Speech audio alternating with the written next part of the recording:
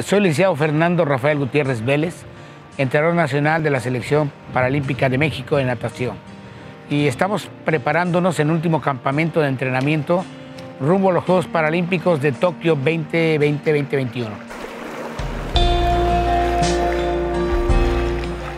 Somos varios, varios equipos que conformamos la Selección Nacional de México.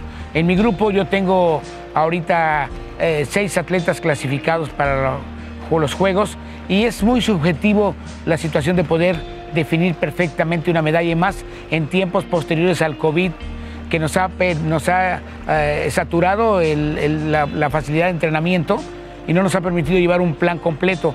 Yo creo que todos los países del mundo están en la misma situación y seguramente va a haber sorpresas que no estaban planificadas. ¿Qué quiero decir con esto? Quien, quien tuvo más oportunidad de tener en la etapa de pandemia las condiciones adecuadas para mantener la resistencia y el endurance, seguramente en esta finalidad que nos está permitiendo un entrenamiento más completo, son los que darán mejores resultados.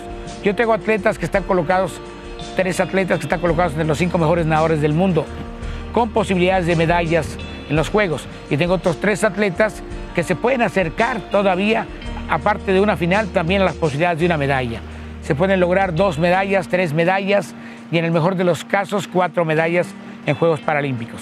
En el caso de nuestro grupo, mi grupo está integrado por eh, siete nadadores que vienen de diferentes provincias de la República Mexicana. Eh, normalmente yo vengo como entrenador en jefe, traigo dos auxiliares que son los que me apoyan en cuanto a la técnica y en la movilidad de mis atletas con la discapacidad ellos son Manuel Tronco y, Edson Yair, que son auxiliares que trabajan conmigo directamente en la, Federación Mexicana de Natación. La natación paralímpica en México ha tenido una sobresaliente desempeño. yo dentro de mi equipo que empecé en 1996 en Atlanta, eh, he logrado 40 medallas en 7 Juegos Olímpicos, Paralímpicos. Y siempre la exclusividad del desempeño de México en Juegos Paralímpicos es su súper deficientemente mejor que los convencionales. Llegamos a lograr un promedio de 4, 6, 8, hasta 12 medallas en Juegos Paralímpicos. Hoy por hoy el objetivo es ese, yo creo que podemos lograr arriba de 10, 12 medallas, situación que el equipo de convencionales difícilmente podrá lograr una final B.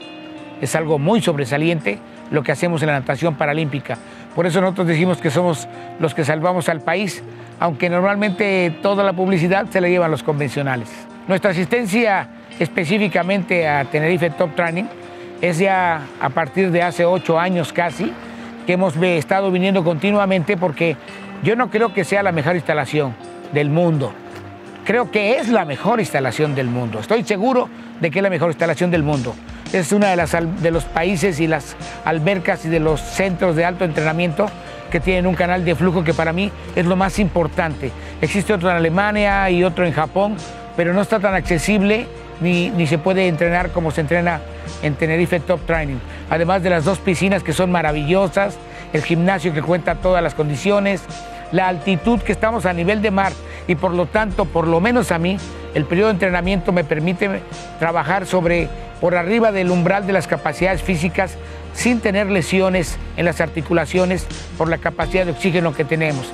Entonces es muy importante para nosotros el venir aquí, además el personal siempre nos presta la mejor atención y concluyentemente creo que es la mejor instalación para efectuar un campamento a nivel de mar en el mundo. El efecto del canal de flujo para mí en lo personal eh, me determina que yo puedo trabajar intensidades por arriba de su máximo de capacidad con tiempos de duración menores que permiten que el gesto técnico de las fibras blancas se automatice y logre que en un proceso de 6, 8 semanas podamos desarrollar una velocidad derivada del esfuerzo de fibras blancas que hacemos en el canal de flujo. Reitero, al nadar por abajo. Un ejemplo, quiero decir, tengo un nadador que hace un minuto en 50 metros libres de una clasificación, yo lo trabajo a intensidades de 58, 57 segundos de velocidad de nado, aunque las duraciones son más cortas. Y eso trae como consecuencia que después de este gesto técnico durante dos, tres semanas de entrenamiento, se automatice y logremos un mejor desempeño en los Juegos Paralímpicos de Tokio.